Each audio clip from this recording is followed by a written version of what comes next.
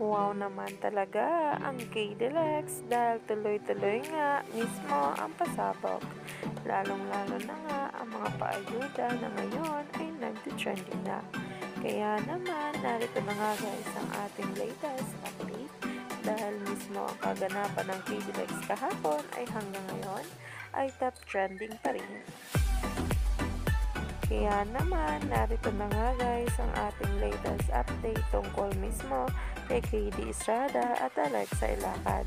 Sabay-sabay nating tingnan at alamin mga caption at hashtag mismo ng KDLX. Narito nga guys ang post.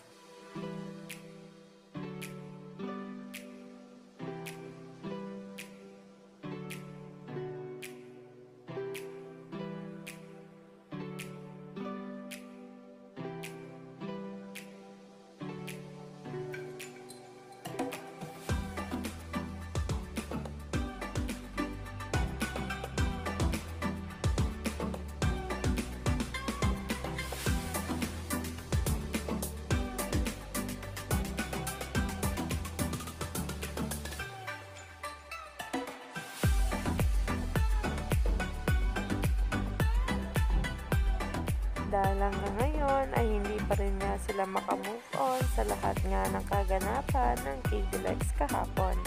Kaya naman, tuloy-tuloy pa rin niya ang mga reaksyon at komento ng maraming netizens at sweethearts. Kaya naman, stay tuned lang tayo for more updates tungkol sa KDLX.